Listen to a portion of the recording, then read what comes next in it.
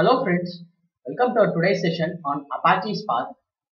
In this series, we are learning about the Spark scenario-based questions. And in our today's video, we will cover a scenario-based question on date and time. So this question is asked in recent times in Spark interview. I thought of sharing with you guys this question. So that's why I'm making this video. And the question is like, we have a input as a CSV file and inside that we have a date column so here you can see like the date column and it is of different format. Like it is not the standard default format which the spark can recognize.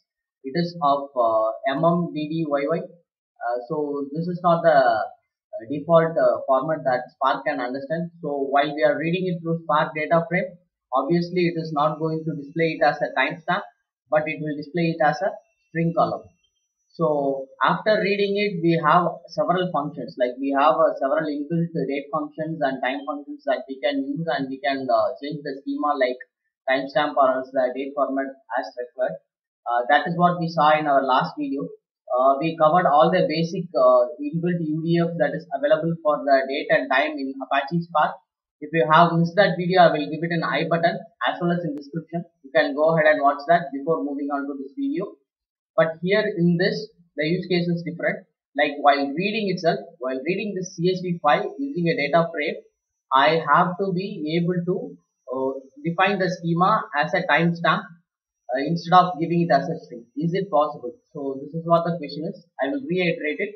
I have a csv file with a date column uh, which is of uh, not a recognized format. I mean like not a default format for the apache spark to recognize it as a date or a timestamp and while reading it itself I have to understand I have to make the spark understand that it is a timestamp and I need to print the schema as a timestamp or date type. So this is what the question is. Let us see how we can solve this. I am using uh, Databricks as our platform and PySpark as a programming language to understand this concept. So that being said, let us move on to today's demo. Now we are into my Databricks Community Edition account. I have logged in. I have also created the cluster, started it, and also created the notebook as well for our demo. So let me show you, I mean let me walk you through each and every steps to understand uh, the scenario and uh, the results. So this is the input that we are going to take today. I will uh, provide the I will I will provide the link in the description to download this file uh, for you guys to have a hands-on on it. So this CSV file is a personal transaction CSV which will have some credit and debit information in it uh, and also the card type those things and also date field that which we require. Uh, it is having around 10,000 records in it and let's proceed further. As a first step, let us uh, directly read it as a CSV file itself. This is the usual method that we will follow while reading it. So what we are doing, df path.read.format CSV and option I am giving it as header of true and then uh, I am loading the file directly and printing the schema. This is just for our understanding purpose. Uh, as obviously we know like this is going to print the date as string. So the command is running and here you can see the schema has printed the date as string column but the output that we require is like the print schema has to return a value of date as timestamp or else a date. So that is what our requirement is. So now let us see how we can achieve it. Uh, we do have option called infer schema as you guys know. So let us try with the infer schema first. So here I am adding an option called infer schema of true. So if it is a default format, if it is a default format for the Spark to understand that as a date, then it will obviously pick it as a date column and it will be able to get it. But since the date field don't have a default format, I mean the default format is mm hyphen dd hyphen yyyy. But what we are having is mm slash dd slash yyyy. That is why it is not able to recognize it. So here it is again printing it as a string column. And let us see how we can achieve this. Directly let us move on to the process like I am splitting it into two methods.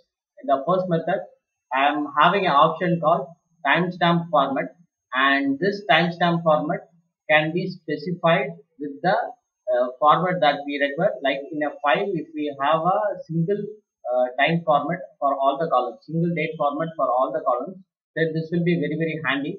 Like if I proceed the if I give the format like this and within the timestamp format in the option, then it will be able to change the default format from uh, mm hyphen yy mm hyphen dd hyphen yy to the defined format that you have given within the package.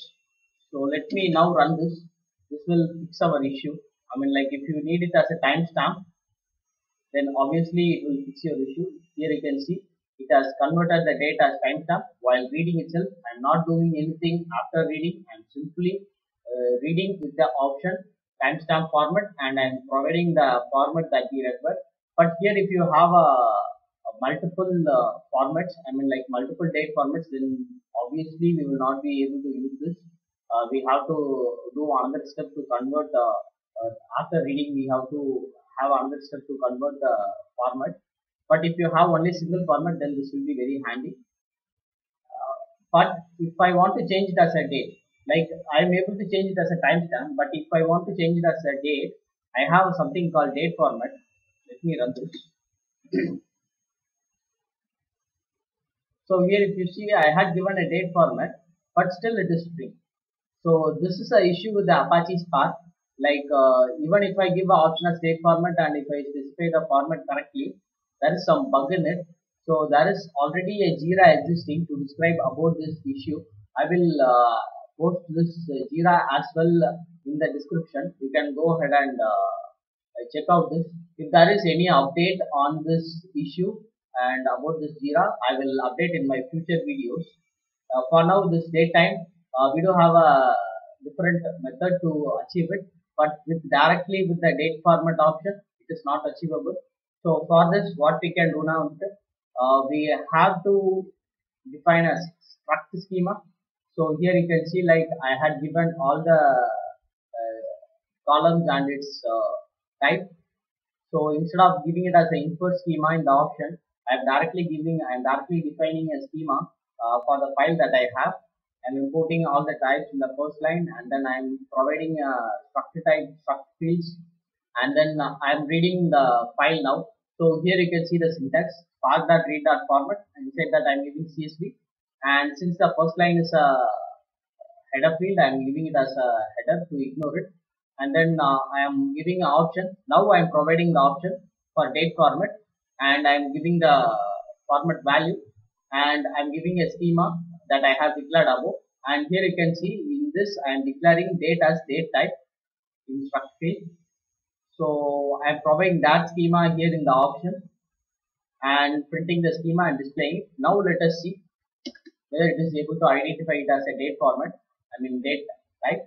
So here you can see now it is able to identify it as a date. So if you simply need it to convert it as a date, you can use the second method. But if you need it as a timestamp alone, uh, then you can go for the first method itself. You can directly mention it as a uh, timestamp format and then you can proceed further easily. So this is what uh, the one which I wanted to show you guys. Hope you guys understood this concept better. Try this on your own machine. Have a hands-on to understand this under, understand this better.